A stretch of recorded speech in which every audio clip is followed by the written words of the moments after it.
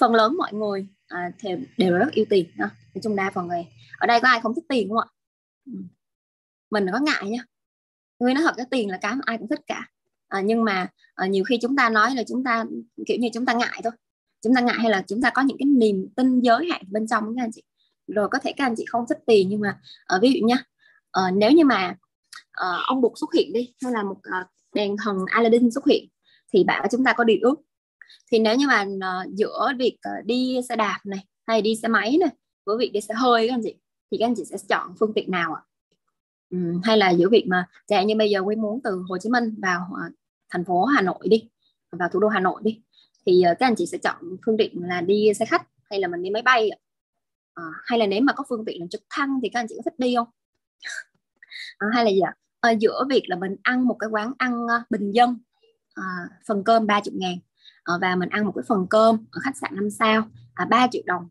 Thì các anh chị sẽ thích à, ăn ở đâu hơn? À, các anh chị nói thật lòng mình đi. Bây giờ gọi gọi là bây giờ nguyên bao các anh chị á thì các anh chị thích à, thích à, thích ăn ở đâu hơn hay là mình thích đi phương tiện nào hơn? Chắc chắn là chúng ta đều thích những cái phương tiện mà cao cấp nhất những cái phong cách sống xa xỉ nhất. Hay là bây giờ nhựa giữa mà việc mà đi du lịch Đà Lạt nhé và cái việc mà đi du lịch châu Âu bây giờ Nguyễn Bao các anh chị đi các anh chị muốn đi đâu? ừ. cho nên là mình đừng có ngại với việc là mình uh, mình cảm thấy mình không có tiền là ngại nha. Đúng rồi nó ai cũng thích đi châu Âu hơn đúng không? À, đấy chị Linh Yến à, chị Bảo Trân mình đi châu Âu. Đấy ít bữa mình mời các anh, các anh chị nhà mình đi châu Âu nha. Mời nhớ đi nha. Ừ. rồi uh, mình nói đến tiền thì có thể là hơi ngại nhưng mà nói đến là phương tiện những cái phương tiện nào mình có thể có được khi mình có rất nhiều tiền thì có vẻ đương nhiên chúng ta sẽ thích những cái thứ mà uh, mang lại cho chúng ta cuộc sống tốt hơn sung túc hơn hạnh phúc hơn ha. Uh, hay là có cái câu là tiền bạc không mua được tất cả nhưng mà tiền bạc nó là cái phương tiện uh, hay tiền bạc không mua được hạnh phúc nhưng mà tiền bạc là cái phương tiện để giúp chúng ta hạnh phúc các anh chị ừ. uh, nếu một người mà có tất cả những số tiền mà họ cần chắc chắn họ sẽ cảm thấy tốt đẹp về tiền bạc ha. Ừ. và khi khi mình mình có cảm xúc tốt về tiền bạc. Thì sao cảm xúc tích cực về tiền bạc thì nó sẽ thu hút những cái uh, điều kiện hoàn cảnh đến đúng không? Ừ. phần lớn tiền bạc và sự giàu có trên thế giới này đều nằm trong tay 10% dân số. 10% thì như thấy nó còn hơi nhiều nghĩa là khoảng tầm 5% à, ờ, những người nào mà giàu thực sự nó chỉ khoảng 5% nữa thôi các anh chị. Điều khác biệt duy nhất giữa người giàu và số người còn lại này là người giàu cho đi cảm xúc tích cực về tiền bạc hơn là những cảm xúc tiêu cực. Uhm. Mình nói, thấy là cái câu này nên chính xác hơn, đó là người giàu hoặc họ hoàn toàn cho đi rất nhiều những cảm xúc tích cực. Và những cái cảm xúc không tích cực về tiền bạc à, có thể là có nhưng mà nó chỉ một phần, rất rất nhỏ, vô cùng nhỏ, không đáng kể thôi. À, và những người nào mà có càng nhiều cảm xúc à, càng nhiều có sự hạnh phúc về tiền, thì họ càng có được cái sự giàu có. Và suy ngược lại tương tự uh, uh, tương tự ngược lại. Đó là những ai mà cho đi những cảm xúc không tích cực về mặt tiền bạc uh, hay là cảm xúc tiêu cực ấy. Uh, chẳng hạn như ví dụ như là giờ có những cái niềm tin như là à, chúng ta không mua nổi thứ đó tiền bạc là thứ xấu xa này. những người giàu là kẻ gian xảo ha, thích tiền là sai trái và không thánh thiện. Ừ anh chị em nào còn bạn là sách thích tiền mà sai trái không thánh thiện thì thì suy nghĩ lại nha. À, phải làm việc chăm chỉ mới có thể kiếm được nhiều tiền. Ừ. à, hay là chúng ta phải là một người rất may mắn này rất may mắn này hay là gọi là số số của mình phải giàu này thì mình mới có tiền. Còn số của mình sinh ra mà thầy bói bảo là uh, không có tiền thì mình không có tiền. Đó là những niềm tin sai lệch hoàn toàn đấy các anh chị. À, và đặc biệt là uh, khi mình được nghe là tiền bạc là xấu xa.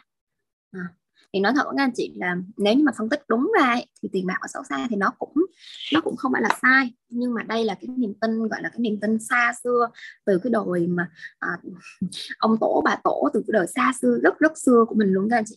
À, thì khi đó thì à, à gọi là trong cái nền văn minh văn hóa con người đi thì nó có nhiều cái những cái à, cái không có đúng ha.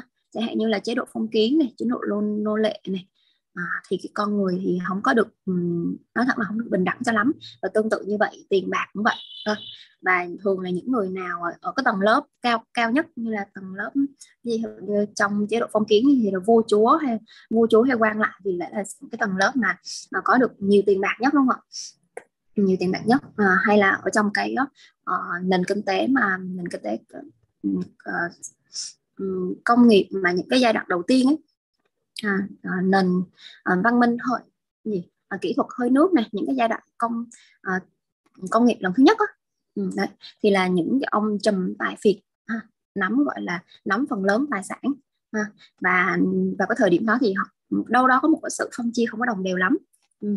nhưng mà bây giờ cái thời đại này rồi các anh chị thì tất cả những người giàu họ đều là những người mà họ phải uh, rất là gọi là ờ, win win này uh, rất là uh, trao giá trị cho tất cả mọi người này có những cái sản phẩm dịch vụ mà phục vụ tốt cho đa số mọi người thì họ sẽ có được sự tiền bạc.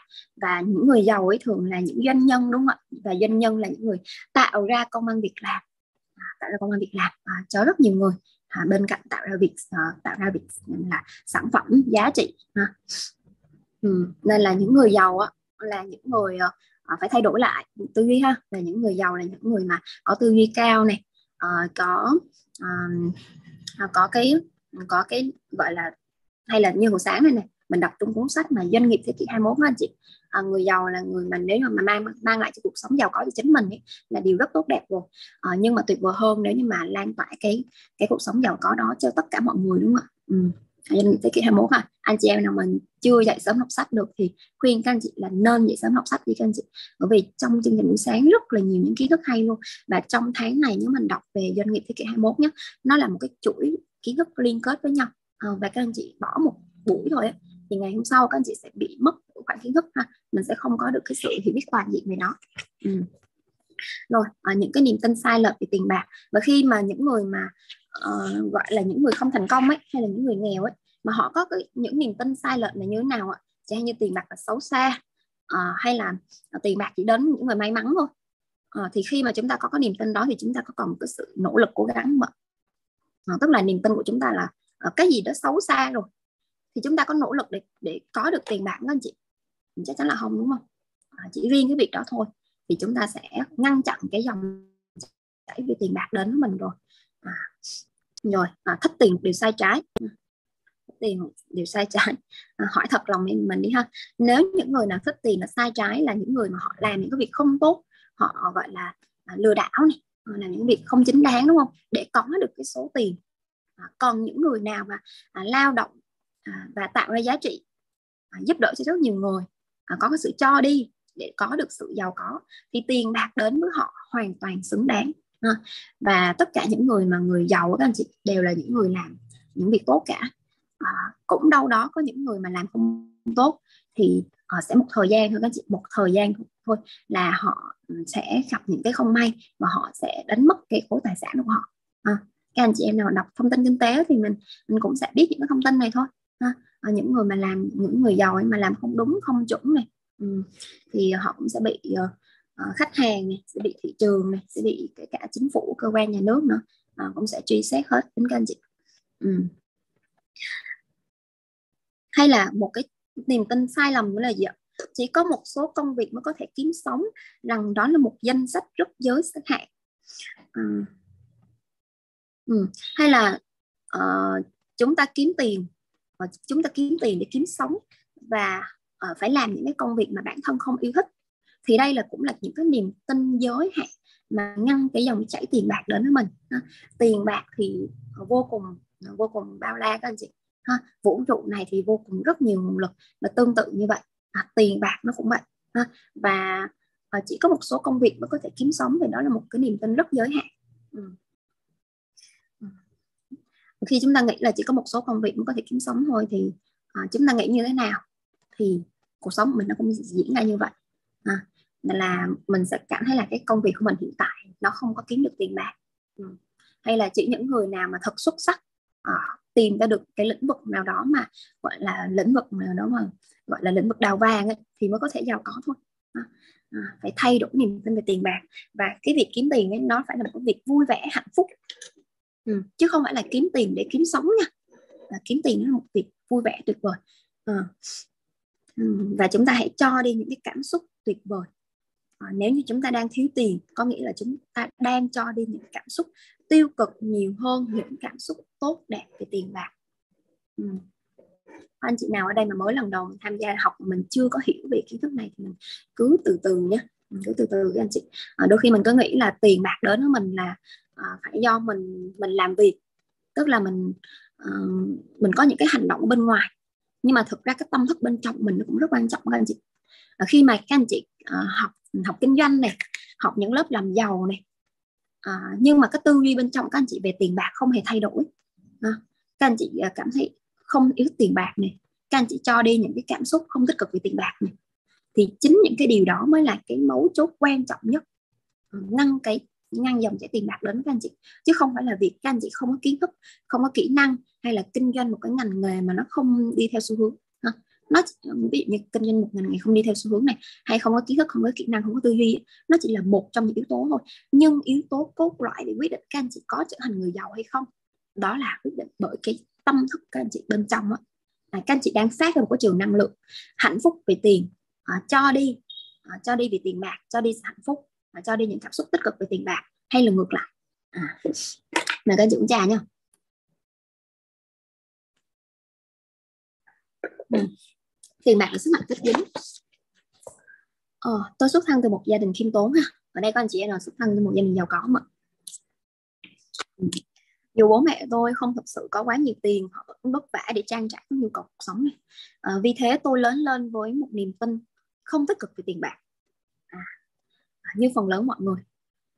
Thì thực ra thì cái tỷ lệ những người giàu các anh chị nó rất là ít các anh chị mà nếu như mà các anh chị mà sinh ra một gia đình giàu có nha thì các anh chị sẽ không ngồi ở đây mà nghe Nguyên chia sẻ ừ, cho nên là Nguyên biết được các anh chị là có thể hiện tại nha cái kết quả tài chính của mình cao đấy nhưng chưa chắc mình đã được sinh ra trong gia đình giàu có đâu ừ. à, kiểu như sinh ra trong gia đình mà khá giả một tí thôi cũng là may mắn cho các anh chị rồi à, giàu giàu có nhưng không phải giàu có về tiền à, chắc là giàu có mặt tình cảm thôi ừ. ừ. lớn lên với những cái niềm tin không tích cực về tiền bạc phần lớn mọi người thì đều như vậy. À, và tôi biết rằng mình phải thay đổi những cảm nhận về tiền bạc từ đó có thể hay thay đổi hoàn cảnh bản thân. Tôi biết mình phải thay đổi à, bản thân tiền bạc à, không bị tôi hấp dẫn mà sẽ dính chặt lấy tôi. À rất là hay các anh chị tiền bạc không bị tôi hấp dẫn mà sẽ dính chặt lấy tôi tức là mình thường nói là à tôi là thoải 500 phút tiền đúng không ạ? Còn bây giờ là mình cao cấp hơn là mình gọi là tiền bạc là dính chặt vào người mình. À.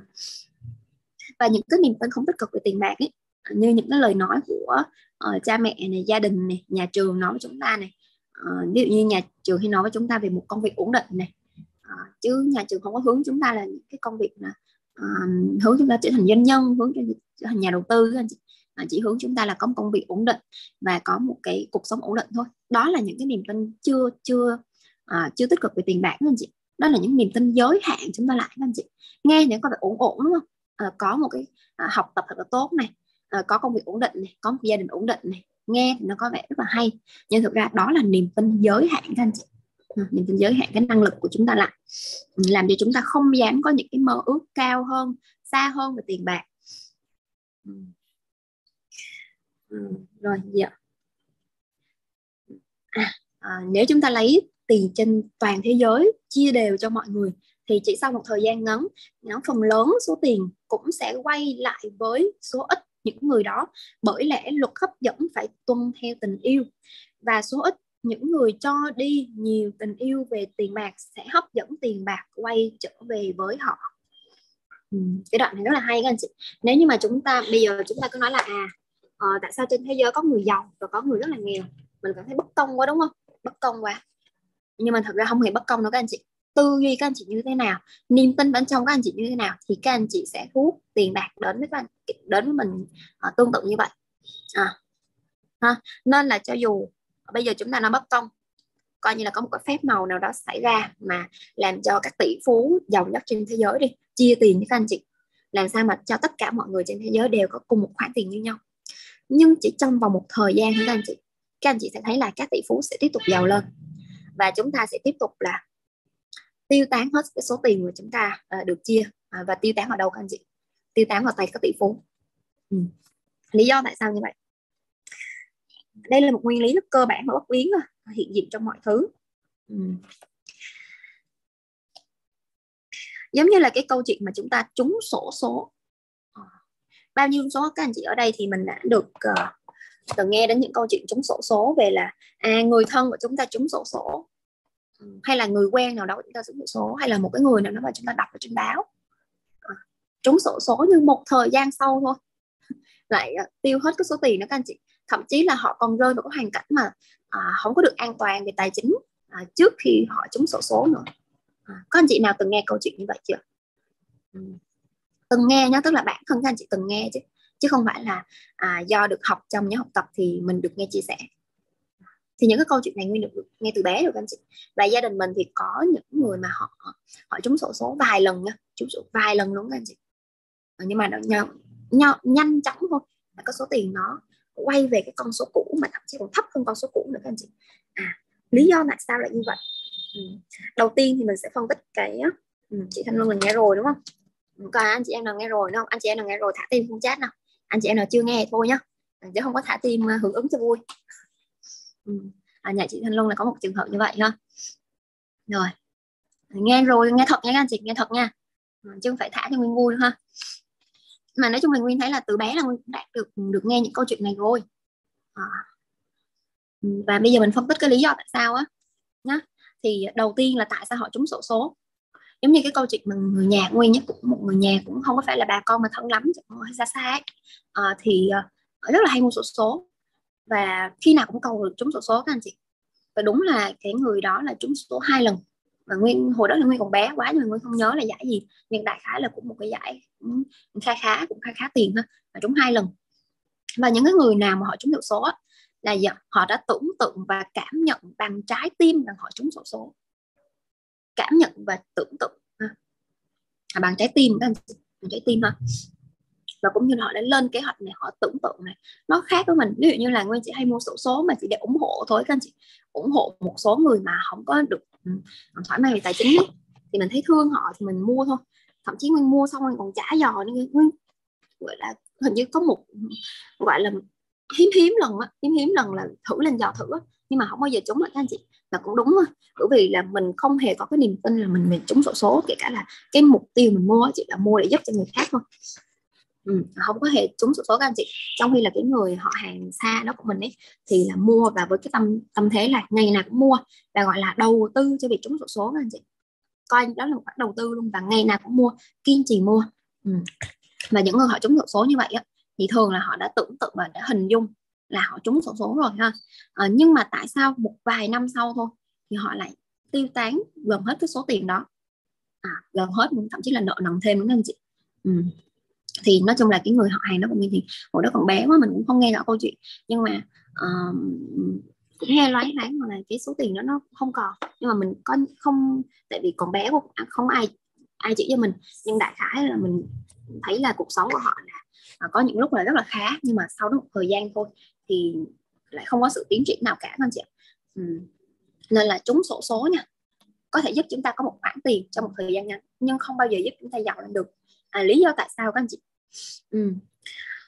ờ, tức là lý do đó là họ không thay đổi được cảm nhận thực sự của mình về tiền bạc. Hay là dễ hiểu hơn đó, đó là những cái niềm tin của họ về tiền bạc thì họ không hề thay đổi à, chẳng hạn như là những cái niềm tin mà khi nãy chúng ta được đọc đúng không ạ? Những cái niềm tin không đúng như là tiền bạc là xấu xa này người giàu là người gian xảo này thích tiền là sai trái là à, chỉ có hay là tức là rất là nhiều những cái cái niềm tin sai lệch về tiền bạc họ mà họ vẫn còn sở hữu. Thì cho dù mặc dù họ đã có một số tiền rồi nhưng mà họ không thể nào giữ được số tiền đó. Cho nên là à, tương tự như vậy đối với những người mà thừa kế tài sản anh chị. Thừa kế tài sản thì nó cũng tương tự giống như là à, trúng sổ số vậy. Cho nên ở đây mà các anh chị nào mà có một cái khối tài sản nha thì mình hãy chia sẻ cho con cái của mình cách để làm cái khối tài sản đó chứ không phải là giấu con của mình. Rồi sau này đến một ngày đẹp trời là cho con mình biết là nhà mình giàu sụ nhà mình kết xù ha. Ừ. mà thực ra đi cái tư duy này rất là nhiều người mắc phải anh chị. Các anh chị biết là bác đó uh, Warren Buffett đó một trong những người uh, giàu nhất thế giới giàu nhất thế giới ha. Đến nỗi là con gái của bác uh, cái chị Susan thì chỉ biết là bố của mình là một tỷ phú đô la giàu nhất thế giới. Khi mà bố của chị được lên trên báo à, tức là đến cái năm mà chị học đại học ấy, mới biết là gia đình mình rất giàu. Gia đình mình là một gia đình siêu giàu. Là khi đó là bác đã lọt top là tỷ phú giàu nhất thế giới rồi. Thì con gái bác mới biết. Tức là không có hề nói cho, cho con cái của mình là là mình giàu có anh chị. Và đây là một cái tư duy mà nó uh, trong rất là nhiều gia đình um, mắc phải. Mà theo nguyên thì không phải theo nguyên mà là theo sách theo những người thành công ha khi các anh chị có một khối tài sản ấy nhiều khi chúng ta cứ nghĩ là chúng ta chia sẻ cho con cái của mình sợ con mình hư. Ừ, nhưng mà ừ, các anh chị hãy chia sẻ cho con cái của mình và chia sẻ cái cách làm sao để cho gia tăng cái số tiền đó lên. Ừ. giống giống như là à, bác Donald Trump đúng không ạ? Thì cha của bác Donald Trump thì chia sẻ cho bác Donald Trump những cái cách quản lý về tiền bạc. À, cho tư duy về tiền bạc à, và cái kết quả là giờ bác Donald Trump có cái khối tài sản lớn hơn uh, cha của mình một đa triệu phú đô la rất rất nhiều. Ha. nhưng mà uh, bác quên Buffett fit đi ờ, cho nói xấu bác một tí chứ uh, bác thì rất là giàu có. Con con các con trai con gái bác cũng rất là rất là giỏi nha các anh chị. À, cũng sau này thì bác cũng có chia sẻ cho các người những người con của mình những cái tư duy và cũng cùng nhau à, vận hành tập đoàn Berkshire Hathaway. Nhưng mà một điều dễ thấy đó là à, những con trai con gái của bác thì không có ai tài giỏi được như bác ha. nên là chúng ta nếu mà chúng ta giàu có về mặt tài chính thì chúng ta hãy à, dạy cho con mình về tài chính từ khi còn bé trước à, cho mình con cái mình có nền tảng trước. Và à, quay lại cái câu chuyện trong phần sách ngày hôm nay đó là nếu như mà các anh chị tập trung một khoản tiền, các anh chị sẽ có một khoản tiền đó nhưng các anh chị không thay đổi về hệ thống niềm tin. Các anh chị sẽ không thể nào giữ được cái số tài khoản đó. Tương tự như việc là có anh chị em nào ở đây đã từng à, học tập trong những học tập một thời gian, mình ứng dụng công thức thu nguồn lực Ờ, trong chương trình buổi tối à, lúc 20 giờ của nhóm cho Anh Thư. Sau đó mình thu hút được rất là nhiều tiền bạc đến với mình trong một thời gian ngắn nha. Thì Nguyên đã từng hướng dẫn một số anh chị em mà gia tăng cái số tài sản của mình à, lên um, thậm chí là hàng gấp ngàn gấp ngàn lần các anh chị. Tức là từ cái là con số là không có một uh, không có một cái số tiền nào trong tay hay là có hai ba triệu gì đó lên cái con số là vài trăm triệu chỉ trong vòng một tháng hai tháng thôi con số rất là lớn à, hay là từ vài chục triệu mà lên tới hàng tỷ nè. Ừ, nghe thì nó nghe thì sung quá các anh chị ha. Nhưng mà thực ra ấy, nó chỉ có thể thu hút được trong một thời gian ngắn thôi các anh chị. Ừ. các anh chị hiểu tại sao mà nó cũng tương tự như câu chuyện này nè. Tức là khi cái người đó mà đang rất khát khao một số tiền để họ giải quyết cái chẳng hạn như họ đang mắc kẹt với một cái uh, cái việc gì đó mà rất rất cần tiền đi thì cái chính cái sự khao khát đó nó sẽ là một cái động lực động lực rất lớn. Ừ, đúng rồi cảm xúc của họ và họ sẽ liên tục họ nhớ đến mục tiêu đó thì họ sẽ vô tình họ làm đúng. Mặc dù là mới tham gia nhé nhưng sẽ vô tình làm đúng tất cả những công thức của nhà học tập đưa ra. Ha cảm xúc rất tốt rồi hình dung tưởng tượng liên tục và uh, gọi là rất khát khao cái số tiền đó. Nói chung là nó đi hoàn toàn đúng về cái công công thức của nhà học tập mình luôn ha. À, và bên cạnh cái việc là học tập chăm chỉ là chép livestream này rồi tham gia tất cả buổi dâm nữa thì họ sẽ đẩy cái con số của họ uh, về rất là lớn. Nhưng trong một thời gian ngắn thôi các anh chị. Bởi vì cũng tương tự như cái câu chuyện là chúng sổ số. À, cái cảm xúc của họ tăng lên nhưng cái tư duy của họ không có tăng lên kịp. Ờ, à, ví dụ như chúng ta có thể uh, có một cái uh, uh, những cái nguồn lực đến đúng không? Giúp chúng ta thu hút rất nhiều khách hàng. Nhưng mà như thế này nhé ví dụ như các anh chị đang kinh doanh mà nhỏ nhỏ đi. Ví dụ như cái hộ kinh doanh của các anh chị ấy, một tháng mình chỉ có cung cấp sản phẩm dịch vụ cho 100 người thôi. Thì mình nói đơn giản là à bây giờ thu hút khách hàng thì mình cứ tăng thêm sản phẩm thôi. Mình nhập thêm nhiều sản phẩm về mình bán thôi. Rất là đơn giản đúng không ạ. Nhưng nếu như mà cái con số nó tăng lên đột biến nhá à, những anh chị em nào mà thu hút ví dụ như là à, cái nguồn lực mà về về mà gấp gấp nhiều lần á à, thì chẳng hạn như là từ à, từ 100 khách hàng một ngày thì các anh chị đôi khi mình phải phục vụ một ngàn khách hàng à, một ngàn khách hàng đúng không ạ? Tức là cái thu nhập của mình nó tăng lên gấp 10 thì tương tự như vậy, các anh chị cũng phải là bán những cái sản phẩm gấp 10 lần, đúng không? Thì cái câu chuyện đây nó sẽ không đơn giản ở việc là các anh chị nhập hàng về nhiều hơn mà các anh chị phải có cái tư duy như thế nào để có thể giữ được cái công việc kinh doanh đó? Có thể cái chất lượng sản phẩm nó vẫn y như cũ bởi vì các anh chị đã nhập hàng một nguồn thôi. Nhưng mà các anh chị phải có một cái hệ thống như thế nào? Các anh chị phải quản lý đội ngũ nhân viên như thế nào? Các anh chị phải có đội ngũ cộng sự uh, những người quản lý như thế nào? Chứ không thì quá nhiều hàng các anh chị làm sao kiểm soát được những cái câu chuyện ở trong đó? Ừ. cho nên là khi mà quy mô tăng lên khi mà các anh chị thu hút được khách hàng nhiều lên thì các anh chị bắt buộc phải có cái tư duy tài chính của mình cũng phải tăng lên tương ứng anh chị hình dung không cho nên đó là cái lý do mà tại sao nhóm học tập nhé chia sẻ cho các anh chị uh, về luật hấp dẫn. Nhưng mà bên cạnh đó thì uh, phải luôn nhắc các anh chị là phải tăng tư duy tài chính của mình lên. Thì đó là nguyên chị ví dụ một cái rất đơn giản như vậy thôi. À, còn cái việc mà chúng ta nếu mà chúng ta muốn tăng bền vững thì chúng ta phải học rất nhiều. À, ngay cả việc là sản phẩm tăng lên đúng không? Mình nghĩ sản phẩm tăng thì nhập thêm nhiều nhiều hàng về tuyển thêm nhiều nhân viên. Nhưng mà không đơn giản như vậy các anh chị các anh chị quản lý một cái quy mô công công việc mà lớn hơn ấy thì đòi hỏi các anh chị phải có cái tư duy tài chính lớn hơn. Và đó chính là cái lý do tại sao mà các anh chị chỉ có thể tăng một thời gian ngắn thôi. Vì tăng tăng thời gian ngắn thì các anh chị trụ được. Nhưng mà bạn mà tăng một thời gian dài thì nó không thể trụ được. Hay là uh, vũ trụ có thể uh, thu hút cho chúng ta những cái nguồn lực khác. Ví dụ như đó là nguyên đang chia sẻ về là cái nguồn lực về công việc kinh doanh. Nhưng mà chẳng hạn như là vũ trụ có rất nhiều nguồn lực khác nữa như là à, cho biếu tặng thưởng này à, ờ, giống như cái câu chuyện mà trong cái phần sách cuối cùng mình đọc đúng không ạ? À, bán được cho một cái lượng cổ phiếu này trúng thưởng này. Thì thử hỏi là anh chị nhé cái lượng cổ phiếu trúng thưởng nó không lẽ là vũ trụ có hưởng cho mình hỏi ở đâu ra mà các giải thưởng mà suốt ngày mình hưởng cho mình hỏi ha mình mình ứng dụng sức mạnh tiềm thức mình ứng dụng là hấp dẫn. Không lẽ là không có ai ứng dụng mà à, cũng có rất nhiều người khác người ta ứng dụng nha các anh chị. À, chỉ là mình ứng dụng trong cái thời gian đó mình hút được nhiều nguồn lực. Nhưng mà cuối cùng á cái giá trị mà mình tạo ra cái công việc kinh doanh của mình nó như thế nào? À, cái dòng thu nhập bền vững của mình ở đâu nó quyết định sự giàu có của mình. À, chứ còn những cái nguồn mà thu nhập mà à, tiền về từ ngắn hạn như vậy thì gọi là à, vũ trụ này chỉ, chỉ cho các anh chị một thời gian ngắn thôi.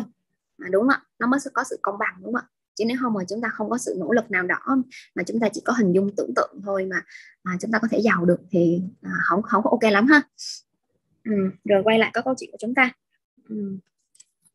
à, đối với các hóa đơn này đối với các hóa đơn chẳng hạn như chúng ta uh, thường nghĩ đến những cái hóa đơn nếu mà hóa đơn càng ngày càng nhiều này à, thì chắc là mình sẽ không có vui đúng không ạ ừ. hóa đơn càng ngày càng nhiều này đồ vật liên tục hỏng hóc này ừ. à, những cái tình huống nó bất ngờ xảy đến à, bào mòn và tước đoạt số tiền của bạn đó đó đối đó nói chung là à, khi mà các anh chị thu hút những cái nguồn tiền mà đến bất ngờ mà chúng ta không có sự chuẩn bị trước à, chuẩn bị trước về cả tư duy à, thì các anh chị sẽ gặp những cái điều đó đến ha.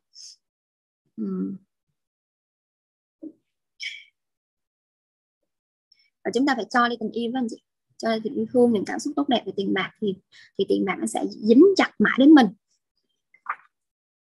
Ừ. và cái số tiền mà chúng ta có được, cái sự giàu có của mình này thì nó sẽ không phụ thuộc vào tình hình tài chính này không phụ thuộc vào tình hình kinh doanh của công ty này không phụ thuộc vào tình hình quốc gia này. À, không phụ nói chung là không phụ thuộc vào những tác động bên ngoài. À, nếu như mà các anh chị đang có tư duy nhá à, xem thử là mình có những cái suy nghĩ này hay không nha. Chẳng hạn như là những suy nghĩ như um, bây giờ là tình hình uh, lạm phát đúng không ạ? Lạm phát ha. À, rất là nhiều cắt giảm chi tiêu. À, rồi um, rất là nhiều cái việc uh, Ờ, không có không có an toàn xảy ra. Ừ. Thì uh, chúng ta nghĩ rằng là à ờ, cái công việc kinh doanh của mình nó sẽ không phát triển được. Hay là nói rằng là gì ạ? À, chẳng hạn như là tôi tôi chỉ vừa mới khởi nghiệp kinh doanh thôi.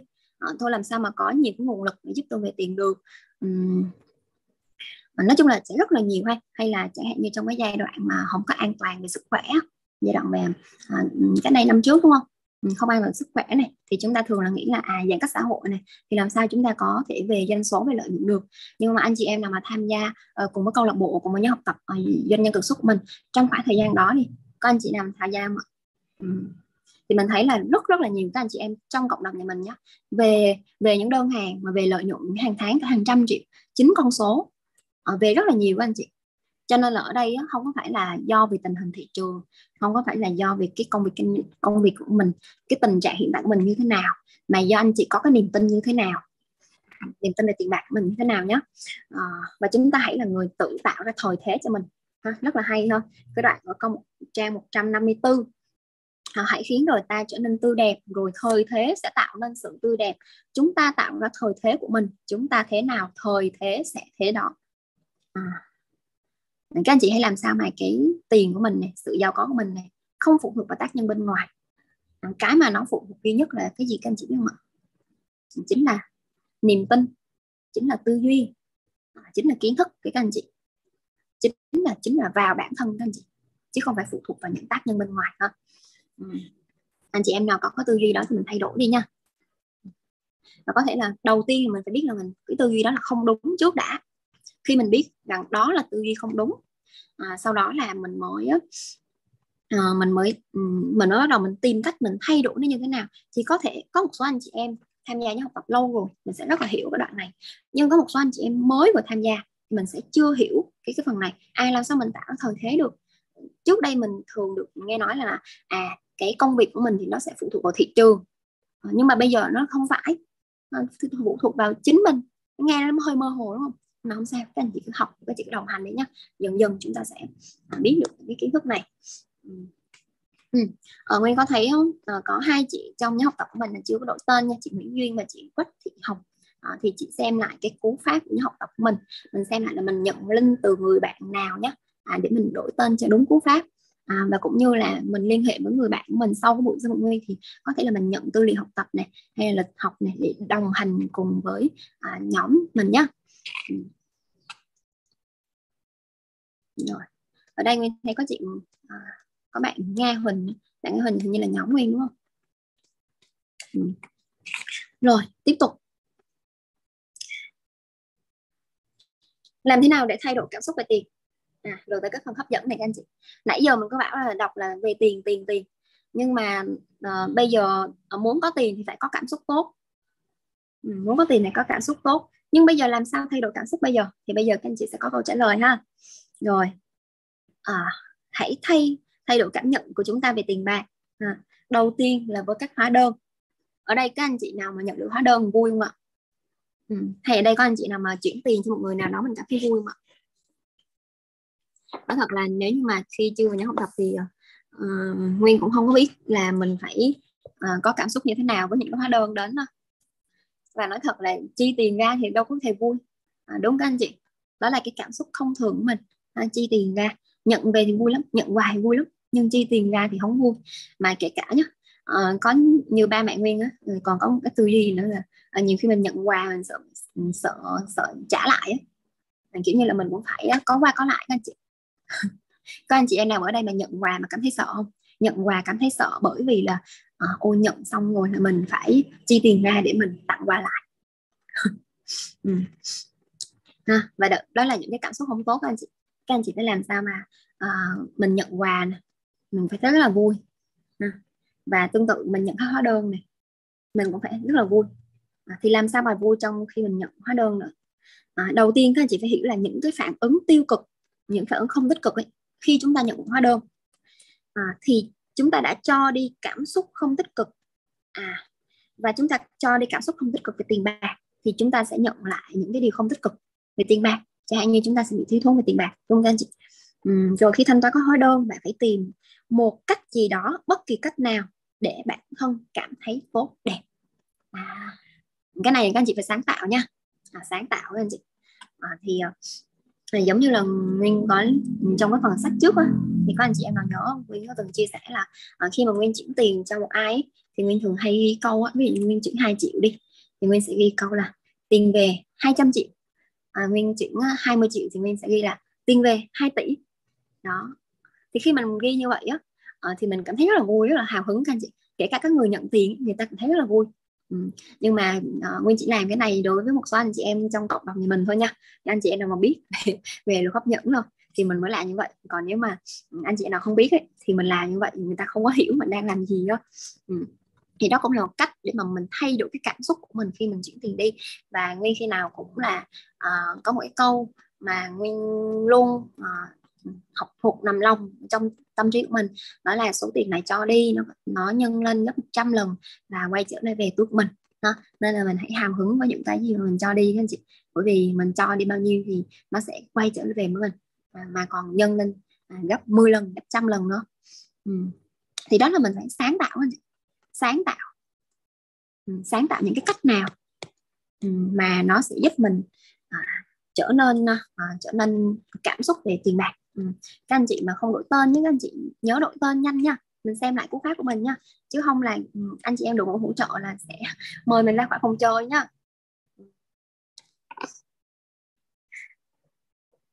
rồi tiếp tục. À, chúng ta hãy tưởng tượng những hóa đơn này là những tờ ngân phí mà chúng ta nhận được. À, cũng rất là thú vị đúng không ạ? Thay vì việc là chúng ta tưởng tượng những tờ hóa đơn là những cái những cái mà chúng ta phải chi tiền ra thì bây giờ chúng ta hãy tưởng tượng đó là những tờ ngân phiếu à, rất là hay các anh chị. Ngân phiếu mà mình nhận được nhé chứ không phải là nhân phiếu mình cho đi. Thì nói chung với cái phần này các anh chị phải có sự tưởng tượng nó có sự sáng tạo. Và quan trọng là cái niềm tin bên trong các anh chị các anh chị phải tin nó là thật. Giống như là cái việc mà nguyên chuyển tiền đi nguyên khi nào nguyên cũng, cũng tin tưởng rằng là à cái số tiền này nó sẽ nhân lên một trăm một ngàn lần mà nó quay trở về với mình. Ừ, và mình rất là hào hứng với cái việc là mình mình cho đi một số tiền nào đó. À. ừ. Ừ. khi thanh toán thì chúng ta hãy viết uh, lên mặt trước của hóa đơn rằng xin cảm ơn thanh toán. À. đây cũng là một trong những cái cái quy trình hàng ngày mà chúng ta được nhóm học tập chia sẻ vào ngày hôm trước không ạ? Tức là mình hãy viết lòng biết ơn thành uh, cái lời biết ơn mình lên các tờ hóa đơn. Ừ, anh chị em nào mình chưa biết kiến thức này thì uh, đồng hành cùng với học tập nha. Rồi tiếp tục. Khi bạn được trả lương này hãy biết ơn vì điều đó. Ờ, để nó nhân bội lên. À, phần lớn mọi người không cảm thấy dễ chịu khi được trả lương vì họ còn quá bận lo lắng. À, thì nhắc đến việc trả lương ấy thì à, hồi trước thì nguyên cũng có công việc kinh doanh mà mình cũng phải trả lương cho nhân sự của mình đúng không ạ? À, trả lương cho nhân sự của mình. Thì à, có thể là với một số người thì họ sẽ nghĩ rằng cái việc mà trả lương cho nhân sự đó là cái việc mà không có vui cho lắm. Nhưng mà cảm xúc của nguyên khi mà nguyên trả lương nhân sự nguyên thì rất là vui các anh chị mà nguyên cứ cảm thấy là cái lương mà nguyên cho nhân sự của mình mà càng nhiều bao nhiêu ấy, thì mình càng cảm thấy vui. Bởi vì chứng tỏ là cái năng suất hiệu suất làm việc của nhân sự của mình nó đã tốt hơn. À, và đi kèm với việc là à năng suất của doanh nghiệp của mình à, cũng đã tốt hơn rồi. À, nên là mình mới trả lương cho nhân sự của mình nhiều như vậy. Và thực sự các anh chị ở đây không biết các anh chị nào mà có anh chị nào mà đang làm kinh doanh mà mình à, từng có có trải nghiệm trả lương cho nhân viên mình không? Nhưng mà khi mà nguyên trả lương cho nhân nhân viên nguyên ấy, thì có, có một lần nói chung là cái chị này thì chỉ làm với nguyên là gần như là chỉ làm lâu nhất. Và chị nhắn tin cho mình mà thật sự mình rất rất là xúc động nguyên chị. Thật sự là lúc xúc động mà rớm nước mắt luôn ấy. Ờ, à, đó là chị cảm ơn rất là tha thiết là cảm ơn cảm ơn nguyên đã mang đến chị một công việc mà giúp cho chị ấy có một cái nguồn thu nhập à, giúp cho con cái giúp cho gia đình của chị ấy có cái một cái cuộc sống nó tốt hơn một cuộc sống ổn định hơn. À, thì cái điều đó rất là tuyệt vời đúng không anh chị. À, các anh chị làm sao mà khi mình trả lương cho người khác à, khi các anh chị kinh doanh ấy à, mà các anh chị tạo ra nhiều thứ nhất là các anh chị không những là mình phải tạo ra một sản phẩm một dịch vụ giúp giúp ích cho cộng đồng mà các anh chị còn mang đến những điều tốt đẹp cho nhân sự nhân viên mình. Đó là điều vô cùng tuyệt vời các anh chị và à, một cái lời cảm ơn thôi. Họ không có cần phải quà cáp cũng còn cái gì cho mình cả. Ừ. nhưng mà một cái lời cảm ơn thật là sâu sắc thôi. Mình cảm nhận được là họ thực sự họ biết ơn mình. À, và à, đó là những cái cảm xúc tốt đẹp. Cảm xúc rất tốt đẹp mà nó sẽ giúp các anh chị à, gia tăng thêm cái tài sản về của mình. À, một bí kíp đó các anh chị. À, và nó là những cái cảm xúc mà các anh chị phải đến từ bên trong thật sự nha. Kể cả là cái người mà cảm ơn ấy à, họ cũng là cái cảm xúc từ bên trong của họ. Chứ không phải họ cảm ơn mình vì họ nịnh nịnh nọt nịnh nọt mình à, mà kể cả là mình là cái người đón nhận á ừ, thì mình cũng phải trong tâm thái là đón nhận cái lời cảm ơn đó. À, trong cái tâm thái là à mình cũng có một cái công việc mà không những là tạo ra những sản phẩm dịch vụ tốt mà mình còn mang đến cuộc sống tốt đẹp hơn cho nhân sự của mình. Và ví dụ như nhé các anh chị mà có một nhân sự nha có một nhân sự và nhân sự đó các anh chị mà à, trong một hộ gia đình mà có bốn người thì các anh chị tưởng tượng nhé ví dụ như các anh chị có 10 nhân sự có nghĩa là các anh chị đang giúp ích cho 40 40 con người bởi vì nhân sự các anh chị không những là uh, kiếm sống có thể nuôi sống bản thân mình mà còn có thể nuôi uh, con cái mang lại sự hạnh phúc cho gia đình của mình ha. Ừ, đó là những trong những cái cảm xúc tốt đẹp khi mình cho đi. Mình cho đi. Cho đi cái số tiền cho nên là uh, ở đây mà anh chị nào đang làm chủ nhá thì mình đừng có đừng có tiết tiền tiết tiền cho nhân viên cho nhân sự của mình. Quan trọng là nhân sự các anh chị phải làm việc thật là tốt à, chăm chỉ nỗ lực để tạo ra doanh số thật sự cho doanh nghiệp thì mình hãy hào phóng. Ừ. rồi tiếp tục uh, nắm bắt mọi cơ hội để chơi đùa nắm bắt mọi khoảnh khắc ha. Bạn cầm một khoản tiền trên tay để bội số ờ, để bộ nhân số tiền thông qua những cảm xúc tốt đẹp những cảm hãy cảm nhận tình yêu mỗi khi bạn thanh toán. À, đó giống như là cái cảm xúc mà khi mà à, nguyên chuyển tiền cho nhân sự nguyên nguyên cảm thấy rất là vui. À, thì hãy cảm nhận cái cảm xúc đó. À, hay là kể cả khi chúng ta thanh toán này ví dụ như chúng ta thanh toán một cái món hàng nào đó mà để giúp chẳng hạn như là mua một chiếc váy đi thì chiếc váy đó chúng ta hãy có cảm xúc là à chúng ta mặc chiếc váy này chúng ta sẽ, sẽ xinh đẹp hơn là sẽ giúp chúng ta gặp đối tác và à, gây ấn tượng với đối tác của mình. À, hãy tập trung vào những cảm xúc tốt đẹp. Ừ. À, hãy cảm nhận tình yêu mỗi khi mình thanh toán. À, hãy cảm nhận tình yêu khi đưa tiền cho người khác. Cảm nhận tình yêu từ tận đáy lòng những anh chị. Tận đáy lòng. Bằng cách hình dung ra những lợi ích lớn lao mà số tiền sẽ đem lại cho công ty và những nhân viên à, làm việc ở trong đó. À, số tiền này sẽ giúp bạn cảm nhận tốt đẹp về số tiền bạn đã trao tay người khác thay vì cảm thấy buồn vì bạn còn ít tiền hơn ừ. à, nha à, doanh số về thì các anh chị cũng phải thứ nhất là phải có thể là dân số về thì mình phải lấy dân số đó để mình nhập hàng này hay là dân số đó mình phải trả cho nhân viên thì mình đừng có thấy buồn nhé các anh chị tiền nó phải cho đi nó phải cho đi nó phải có chi phí trong vận hành doanh nghiệp ấy. anh chị phải có chi phí trong doanh nghiệp thì nó mới có thể lợi nhuận được nên là chi phí nhiều thì các anh chị hãy vui vẻ với cái điều đó. À, chi phí nhiều tức là à, doanh nghiệp của chúng ta đang hoạt động tốt rồi ha. À, sự khác biệt giữa hai cách nghĩ này một cách nghĩ sẽ giúp bạn có nhiều tiền hơn cách nghĩ kia sẽ khiến bạn chật vật với số tiền còn lại của phần đời à, trong phần đời còn lại của mình. Ha ừ. à, các anh chị hãy suy nghĩ như thế nào? Mà trong suy nghĩ này thì các anh chị phải có sự sáng tạo. À, hãy chuyển đổi cái suy nghĩ của các anh chị thay vì là việc không có được vui khi mà thanh toán thì mình hãy có những cái lý do nào đó để mình vui vẻ khi mình cho đi uh, một cái số tiền. Đây nói chung là uh, sáng tạo thì là vô biên ha. Nên anh chị hãy nhớ dùng cái kỹ năng sáng tạo của mình uh, để mình có thể sáng tạo với những cái cách khác nhau. Làm sao mà cho anh chị có cảm xúc khi mình cho đi tiền bạc là được khi mình thanh toán hóa đơn là được và mỗi người sẽ có mỗi những cái cách sáng tạo khác nhau nha. Tự động não sáng tạo ừ. à, và một cái bí kíp mà tác giả có chia sẻ ở đây đó hãy tưởng tượng ờ, cái tờ tiền của mình ha, có hai mặt. Thì một mặt tích cực ờ, hay là một mặt nhiều tiền một mặt không có được nhiều tiền ấy. Thì khi nào chúng ta cho đưa tiền cho người khác thì chúng ta hãy lật cái mặt nhiều tiền lên. Chúng ta hãy nhìn nhìn cái mặt nhiều tiền đó xong rồi chúng ta hãy hình dung một cái cảm xúc nào đó mà à đây là à, cái số tiền này nó biểu hiện như sự sung túc sự giàu có và tôi cho đi cái số tiền này tôi mang đến sự sung túc giàu có cho cái người nhận tiền thì cái sự sung túc giàu có đó nó cũng sẽ nhân lên gấp bội thì nó về với tôi ha ừ. đó cũng là một cách đó cũng là một sự sáng tạo anh chị ừ. nói chung là cách gì cũng được quan trọng là các anh chị tin là cách nào nó phù hợp với mình và cách nào nó giúp cho các anh chị có cảm xúc về tiền bạc thì chúng ta hãy dùng cách đó ừ, hãy tưởng tượng lúc này bạn đang rất giàu có. À, tưởng tượng lúc này nhá. À. hãy bắt lên những cảm xúc à, gắn liền với những mong ước bấy lâu bằng cách giả định rằng bạn đang sở hữu chúng và rồi những mong ước đấy sẽ dần trở thành hiện thực. Ừ, đây là cái phương pháp mà à, sống như đã đạt mục tiêu rồi à, tức là ừ, có thể là mình chưa có được cái sự giàu có nhưng đầu tiên mình hãy trong một cái cảm, cảm giác một cái tâm thế một cái sự hạnh phúc rằng là mình đã có rất là nhiều tiền bạc rồi. À, và chính cái tâm thế đó thì nó sẽ giúp các anh chị thu hút tiền bạc về. Rồi à, phần sáng ngày hôm nay hay quá ha. À, gật đầu nói có tiền bạc. Ừ. à, hãy đưa mình vào những tần số tốt đẹp đúng không? À, hãy có những cái niềm vui này sự hào hứng này hào hứng này những cái nỗi thất vọng hay là đố kỵ này. À, thì chúng ta đang đưa ra những cái thông điệp à, không tích cực về tiền bạc. Nhớ này các anh chị. Thất vọng hay đố kỵ đố kỵ với sự thành công của người khác. Ừ.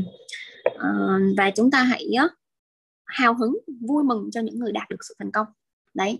À, trong chương trình ờ, zoom à, buổi tối đúng không ạ? À, mà có các phần chia sẻ à, thành công ấy thì các anh chị hãy ăn mừng thành công cho những người bạn trong học tập ừ, của mình đúng không ạ? À, hào hứng. Ừ, hay là ờ, chúng ta gặp được sự thành công của bất kỳ một người nào đó thì chúng ta hãy chúc phúc cho họ. Lời chúc phúc của họ cũng là lời chúc phúc cho chính mình. Đó là cái các anh chị ừ, ờ, gieo những cảm xúc tốt đẹp về tiền bạc ấy. Kể cả là cảm xúc đó là cảm xúc dành cho người khác thì nó cũng là cảm xúc tốt đẹp về tiền bạc. Và vũ trụ này sẽ không hiểu đâu là cảm xúc ừ, cảm xúc chúng chúng ta dành cho chính mình hay cảm xúc chúng ta dành cho người khác. Vũ trụ chỉ ghi nhận à chủ nhân của mình uh, biết rằng chủ nhân của mình yêu thích uh, tiền bạc. Chủ nhân của mình hạnh phúc vui vẻ khi tiền bạc đến sự sung túc sự giàu có đến. À, thì vũ trụ sẽ mang đến cho các anh chị những cơ hội những nguồn lực ha. Để các anh chị có thể giàu có hơn hạnh phúc sung túc hơn. Ừ. và tác giả kể một câu chuyện. Ờ, đó là à, vào những cái năm mà không có uh, hơi lố giờ các anh chị ha. Còn sáng ngày hôm nay thì thực sự là chia sẻ về tiền bạc cho nên là à, Nguyên cũng thấy rất là hay à, thôi chúng ta dành thêm một chút thời gian nữa để à, Nguyên chị sẽ nốt cái phần này nhá ừ. à, rơi vào cái hoàn cảnh à, không có an toàn về tài chính và thẻ thì dùng hết hạn mức này nợ thế chấp này. Nói chung là rất rất là nhiều những cái khoản mà không an toàn à, đến hay là không đủ tiền trả cho nhân viên luôn. À, và tác giả đã dùng một cái cách đó là ừ, đến máy ATM ha rút một vài Ờ, rút vài trăm đô từ tài khoản tín dụng của mình. Ờ, rút rút vài trăm đô. Mặc dù là đang không an toàn về tài chính nha các anh chị là túng quẫn nhưng mà vẫn đi rút tiền. Và rút tiền này để làm gì? Đi phát anh chị. Ừ.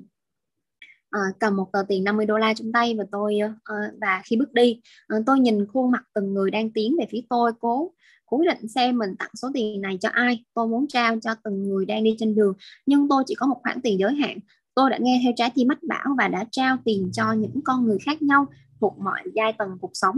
Đó là lần đầu tiên đời tôi có được cảm xúc yêu thương yêu thương với tiền bạc. Nhưng không phải bản thân số tiền đó khiến tôi có được cảm xúc yêu thương. Chính việc tặng tiền cho những người trên phố mới khiến tôi cảm nhận tình yêu dành cho đồng tiền. À, cảm nhận tình yêu dành cho đồng tiền. Ha và đó là một ngày rất tuyệt vời và tác giả đã phải bật khóc.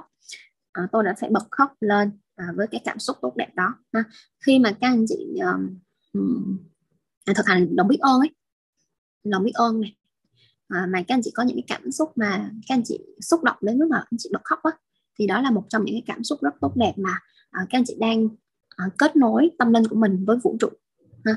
thì ở đây là tác giả đã ứng dụng à, là sự cho đi là cảm xúc đến mức là bật khóc thì đây là một trong những dấu hiệu Ờ, khi các anh chị có được ừ, khi các anh chị có những cái dấu hiệu đó à, hay là anh chị em mình à, có tham gia chương trình chuyên sâu của học tập ấy anh chị có nhớ một cái à, cái câu chuyện mà à, có một có bạn chia sẻ à, bạn chia sẻ về DCI anh chị chia sẻ về DCI mà cái um, câu chuyện là bạn ấy cho đi à, cho đi một cái người nào đó ở trên đường thôi mà sau đó là cái cái bà đó bảo ôm chầm lấy cái bạn đó đúng không ạ? À, và sau đó là bật khóc. à, là ờ, bạn ấy gọi là ừ, khi mà nhận được ký đó thì bạn ấy cảm thấy là rần rần cảm xúc lên. À, thì đó là cái lúc mà à, bạn ấy có chia sẻ các anh chị có nhớ không? các anh chị nhớ câu chuyện đó không là bạn nói đúng chính xác luôn. Đó là bạn ấy uh, gọi là đang kết nối uh, đang kết nối với vũ trụ đang kết nối với vũ trụ. Nói chung là nguyên không nhớ rõ ngôn từ nhưng mà gọi là ừ, cái cái lòng biết ơn của cái cái cái người mà bạn ấy giúp á gọi là uh, nó đã đó là bạn đã thành công gieo một cái hạt mầm gieo một cái hạt mầm rất là tốt ha. Thành công gieo một hạt mầm rất là tốt ha. nên là khi các anh chị mà đạt đến những cái cảm xúc như là bật khóc này hay là các anh chị cảm thấy rần rần lên à, mà um, cao nhất đó cao nhất đó là cái cảm xúc khi các anh chị bật khóc ở đây có anh chị nào mà thực hiện là biết ôm mà mình cảm thấy bật khóc rồi đó là các anh chị làm rất là tốt rồi nha. Có anh chị nào có anh chị nào mà lòng biết ôm mà bật khóc không? Thôi Miss Anh Thư thì ờ, thì Nguyên biết rồi à. nói chung là có một lần thì Nguyên thực hành biết ơn là Nguyên bật khóc luôn các anh chị à. và lúc đó là Nguyên bật à, thực hành biết ơn và cùng với nhau học tập mình luôn à, thì khi thành lòng biết ơn cùng với học tập ấy, thì cái trường năng lượng ấy, nó cũng cộng hưởng rất là nhiều ừ. rồi quay lại câu chuyện của chúng ta ha à, và à, cái cái điều mấu chốt ở đây là các anh chị tức là sau khi mà tác giả cho đi cho đi tiền bạc à, thì sao ạ? À, thì ngày hôm sau nhá nhận được rất là nhiều những nguồn lực luôn. Tức là uh, vũ trụ nghe thấy lời thỉnh cầu rồi đúng không? Chị toàn thấy vui rồi chị, chị miss à, cho nhân chị chi vạn toàn thấy vui ha. Ừ. Ừ. rồi uh, tức là vũ trụ đã ghi nhận rồi. Và ừ, cho gì ạ? À, tiền 25.000 đô la này nhờ chuỗi sự kiện à, nhân quả thần kỳ chuỗi sự kiện nhân quả thần kỳ. Ờ, à, rất là hay ha. Và sau đó là những cái khoản tiền uh, từ cổ phiếu tức là mua từ một người bạn nhưng mà từ xưa đến nay chưa bao giờ tăng. Chưa bao giờ tăng nhưng mà tự nhiên là thực hành xong cái cái là cho tiền cho đi cái tình yêu thương thì bắt đầu là, là cái người bạn đó chủ động gọi hỏi xem là có muốn bán hay không. Cổ phiếu tăng giá rồi. Ở rất là tuyệt vời các anh chị. Gọi là những khoản tiền mà nó từ trên trên trời rơi xuống. Và uh, khi mà các anh chị thực hành lòng biết ơn này các anh chị thực hành luật, luật hấp dẫn này ứng dụng cái công thức của nhóm học tập này thì uh, các anh chị hãy mở tư duy của mình ra. Vũ trụ này có rất là nhiều nguồn lực. Và các câu chuyện này nè đây là những câu chuyện hoàn toàn có thật nha các anh chị chứ không phải là tác giả bị ra để viết cho hay. Những câu chuyện mà trong bộ sách lòng biết ơn này bộ sách à, bộ sách bí mật này tất cả đều là có thật nha các anh chị. À, và các anh chị hãy nhớ câu chuyện này. À, nhớ đây nha. À, khi các anh chị nào mà có những cái sự không an toàn về tài chính ấy, thì mình có thể ứng dụng những câu chuyện trong phần sách ngày này. Ừ. Và hãy mở tư duy mình ra. Nguồn lực, tiền bạc từ vũ trụ thì nó ở khắp mọi nơi. Và quan trọng là các bạn có tin tưởng rằng là vũ trụ cho mình à, những nguồn tiền không?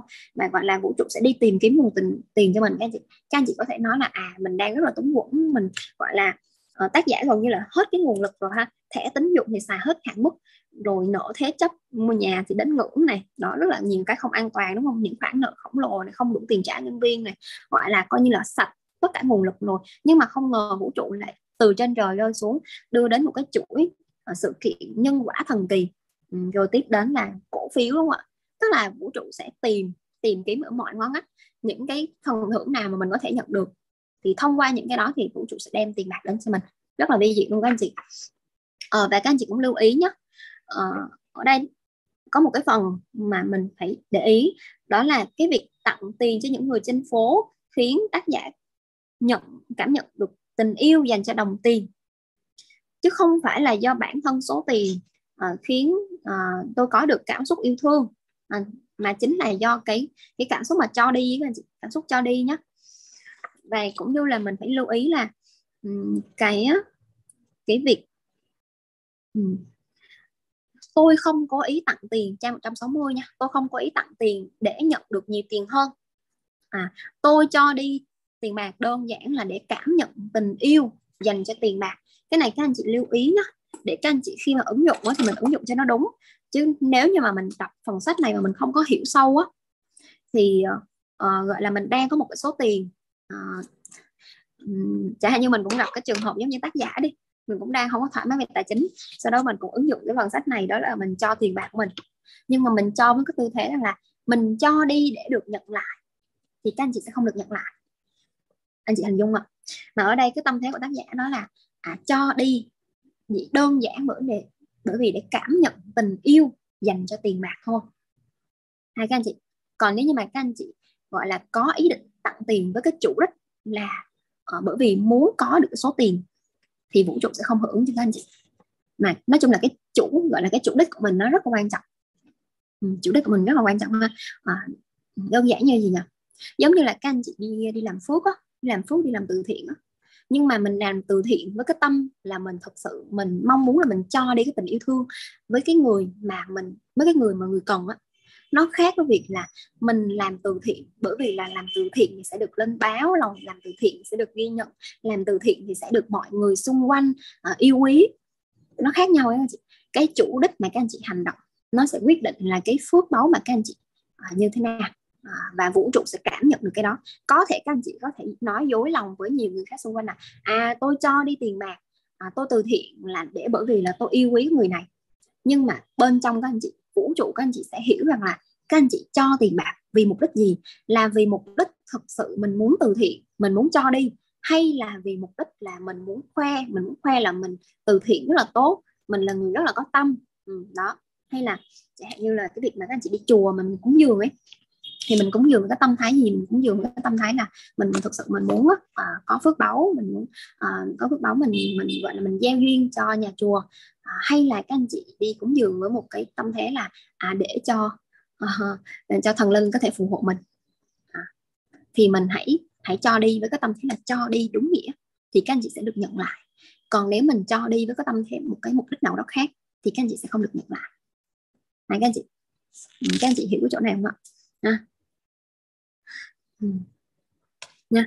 À, mang tiền cho đi và cảm nhận được tình yêu khi chúng ta cho đi thì các chắc chắn tiền nó sẽ quay lại của mình. Còn nếu như mà chúng ta có những cái chủ đích khác ừ, thì tiền nó sẽ không không quay về mình. Ừ. À, chúng ta hãy cầu cầu chúc sự sung túc cho những người mà chúng ta nhìn thấy trong ngày này. À, nhìn kỹ từng uh, khuôn mặt và tưởng tượng bạn đang cho họ rất nhiều tiền tưởng tượng niềm vui của họ. Đấy, tưởng tượng niềm vui của họ. Tức là mình cho đi với tâm thái là mình muốn mang đến sự tốt đẹp. Sự tốt đẹp. Chứ không phải là cho đi với tâm thế là được nhận lại nha. Ừ, à, cảm nhận đó và chuyển sang người tiếp theo. À, đó. Ừ. Rồi ok ha. Không quan trọng bạn trao tặng bao nhiêu mà là bạn yêu thương bao nhiêu khi khi tặng. Tức là mình hãy tập trung vào tình yêu thương nhé. Tập trung vào tình yêu thương và tập trung vào sự cho đi thì các anh chị sẽ được nhận lại. Còn mình cho đi với mục đích là mình muốn được nhận lại thì các anh chị sẽ không được nhận lại. Các anh chị hình dung được chưa? Rồi ok. À, vậy thì mình sẽ kết thúc phần phát ngày hôm nay ngày hôm nay cũng là hơi dài đúng không ạ? Nói chung là phần sách này thì nói thật là phân tích còn chưa đã mồm. Ờ, nhưng mà uh, từ từ. À, chắc là à, và đây là lần thứ hai mà nguyên được phân tích về phần sách về tiền bạc nữa anh chị. Vui quá ha. Ừ, chắc là à, những cái cơ hội lần sau ha thì nguyên cũng sẽ có dịp à, phân tích với các anh chị về à, những cái tiền bạc làm sao để thu hút tiền bạc từ vũ trụ đến mà nhiều hơn. Ừ rồi cảm ơn tất cả các anh chị đã tham gia đồng hành cùng nhau học tập trong buổi zoom à, chiều hôm nay ừ. thì à, à, nguyên sẽ kết thúc zoom tại đây nhé à, cảm ơn các anh chị à, đã đồng hành à, hỗ trợ À, cảm ơn nhóm chuyện anh Thư, cảm ơn uh, doanh nhân chị Phạm, cảm ơn uh, doanh nhân chị Đào Hằng, à, cảm ơn tất cả các anh chị đã tham gia cùng Nguyên. À, chúc các anh chị một buổi chiều à, thật là à, nhiều niềm vui, thật là nhiều thành công, à, nhiều hạnh phúc. Ừ. Ừ. Rồi, ok. À, xin chào, hẹn gặp lại các anh chị à, vào buổi Zoom à, tối hôm nay cùng với nhau học tập vào lúc 20 giờ.